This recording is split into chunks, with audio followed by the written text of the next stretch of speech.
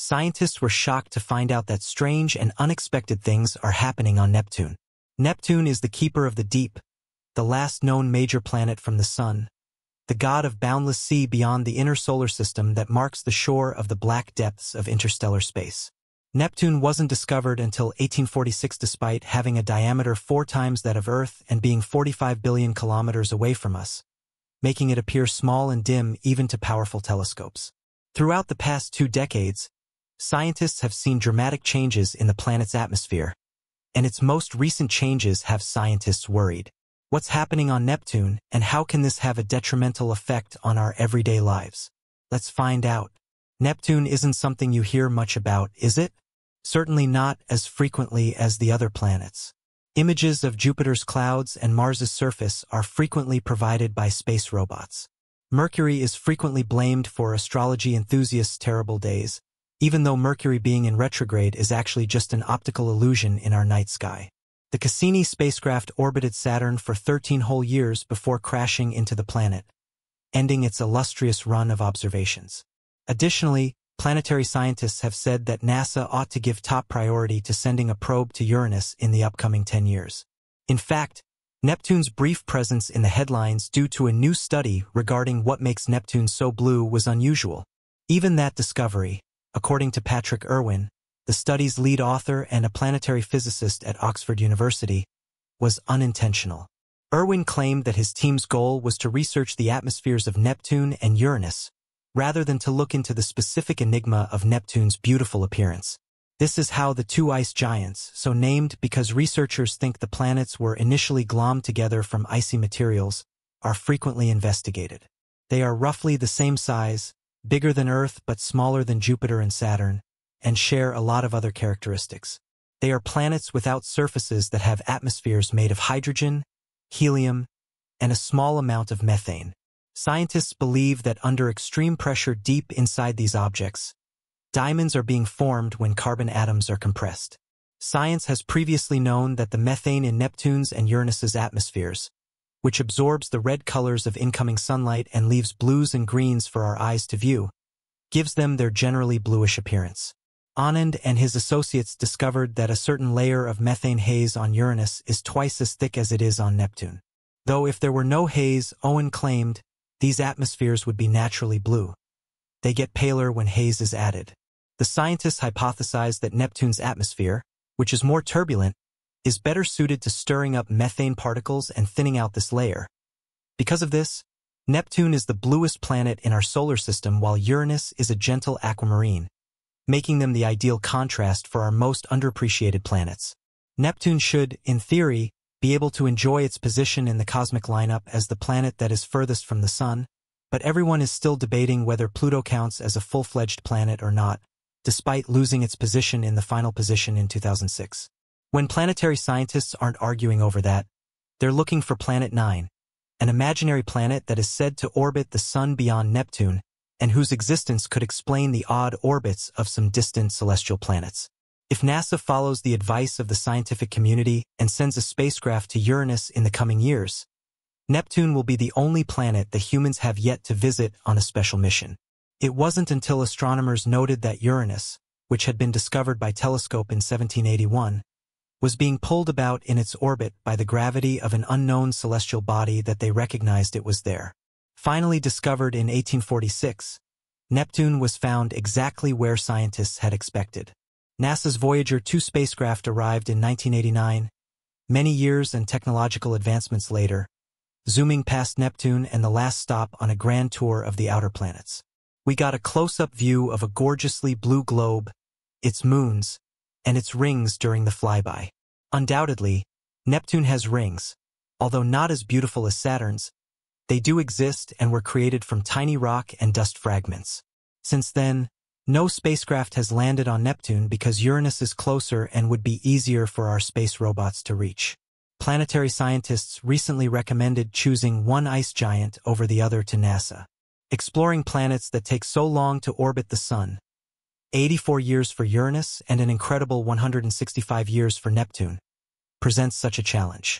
Undoubtedly, a focused mission to Uranus that landed in the early 2030s would increase our knowledge of both ice giants that, however, does not truly give Neptune its due.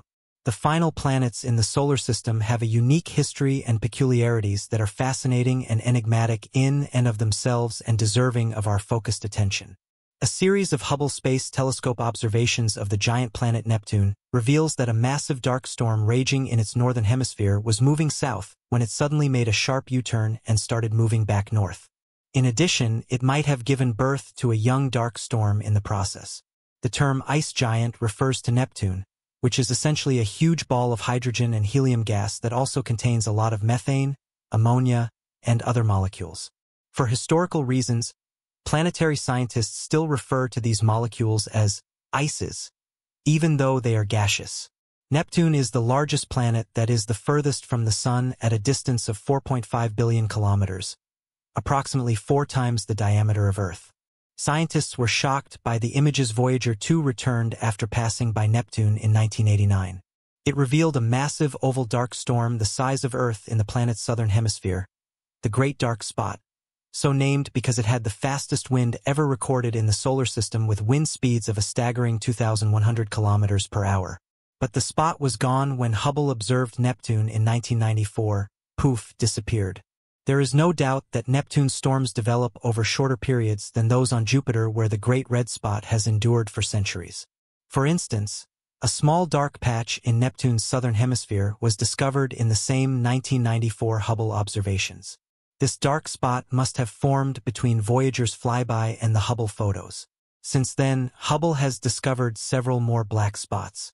They develop at mid-latitudes in both hemispheres and tend to move in the direction of the equator, but they face certain death if they do that as a result of the Coriolis effect, which states that the speed of a planet's rotation varies with latitude, with a maximum at the equator and a minimum at the poles. Air flowing outward from a large high-pressure system or inward toward a low-pressure one will cause the system to begin rotating as it meets air moving at different speeds to the north and south. As these Neptunian storms move in that direction, the Coriolis influence weakens closer to the equator, which causes them to fragment. The majority of these storms appear to end up there. Not this time. In September 2018, Hubble observed a mysterious storm in Neptune's northern hemisphere. The entire continental United States could easily fit inside this enormous, over 7,000 kilometers wide object, which was seen to be traveling south. However, inspections made in January 2020 revealed that the storm's southern movement had been reversed and was now once more headed north. Neptune is a mystery to scientists who study it, but there's more. This storm has been linked to two further strange occurrences. One is that it seemed to have created a smaller dark storm at the time it changed its mind and began moving north again. This is predicted to occur by some computer simulations of Neptune's atmosphere, particularly as a large storm begins to dissipate towards the equator when it can drop smaller vortices, although it wasn't directly observed since the observation was spaced too far apart. It's possible that this is what happened in this instance. It may have shifted course due to that, according to certain theories.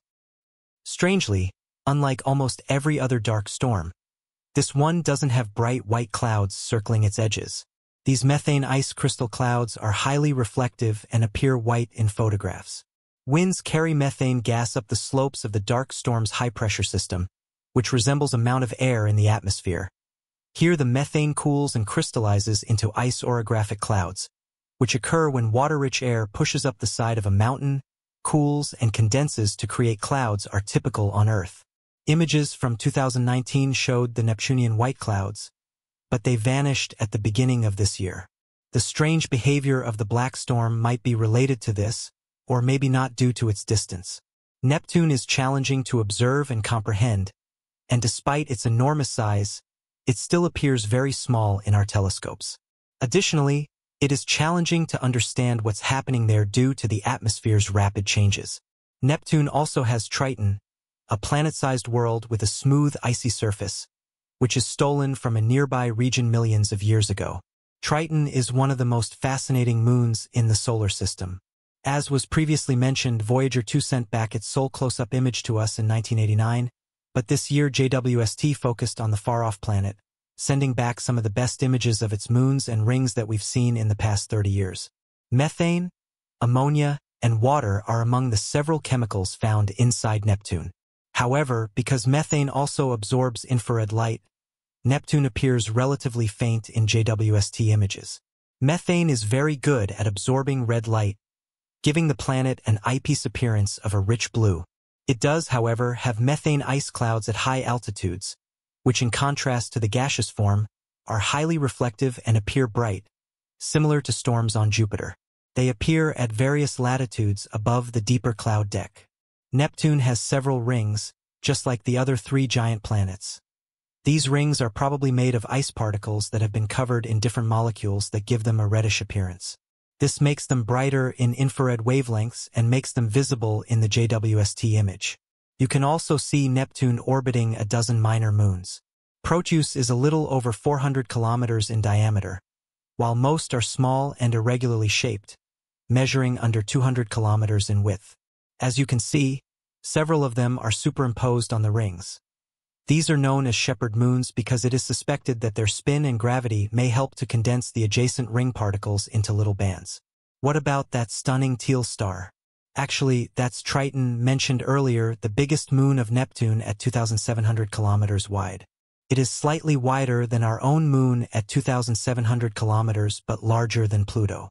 The lines running through it are diffraction spikes, which are produced when light bends around the three legs holding the secondary mirror of the JWST together, as well as the hexagonal shape of its component mirrors. It appears bright because it is covered in frozen nitrogen, which is highly reflective. A larger source such as Neptune also has them, but they are smeared out and appear much fainter, making them difficult to see. Only when the light source is very small in an image, what astronomers refer to as a point source, can you get them this obvious. Triton is an oddball, it orbits Neptune backward in relation to the planet's rotation, leading astronomers to hypothesize that it might be a sizable Kuiper belt object that was long ago drawn in by the planet's gravity. It's challenging to accomplish this, and the precise method in this instance is unknown.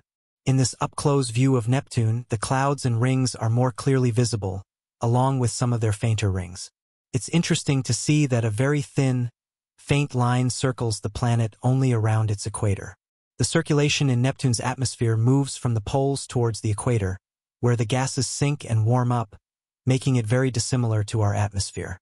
This weak arc might be warmer gas that is heating up and emitting infrared light. Neptune and Triton may be seen in this breathtaking wide-angle view once more, but this time practically everything else in the picture is a background galaxy that is hundreds of millions or possibly billions of light-years away. It serves as a poetic reminder that Neptune is the solar system's final major colony. Since an orbiter could spend years first at Uranus before moving on to orbit Neptune, scientists are very interested in developing a mission specifically designed to explore the outer planets. Sending a probe that stays on a planet for a long time is the best way to learn about it, as we discovered with Cassini at Saturn. Features come and go, conditions shift, and perhaps most significantly, when researchers uncover novel occurrences, they may direct the spaceship to investigate more closely. While learning new things is crucial, a focused objective allows you to remain and possibly ascertain their origin. We also learned that lesson from the Voyager flyby. Seeing Neptune up close for the first time allowed for discoveries like the dark storms, but if we want to understand them, we need to go there again and again. So are we ever going to Neptune? Obviously not with astronauts, but rather with a spacecraft created exclusively to investigate the mysteries of our eighth planet. The James Webb Space Telescope, the most recent space observatory in existence, is currently watching the ice giant and should produce further previously unobtainable information about the makeup of its atmosphere. However, it's not the same as actually being in orbit. By that standard, we have no knowledge of Neptune and probably never will. A recent mission plan for an orbiter to Neptune called for an initial launch in 2033 and an arrival in 2049. However, traveling to Uranus first would mean delaying the timescale by at least 10 years. The bluest planet might not get a spacecraft companion until well into the 2050s.